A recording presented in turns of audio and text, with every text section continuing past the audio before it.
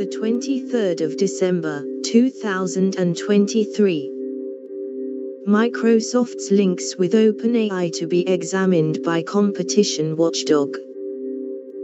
The Competition and Markets Authority will consider if links between the two could be considered a merger.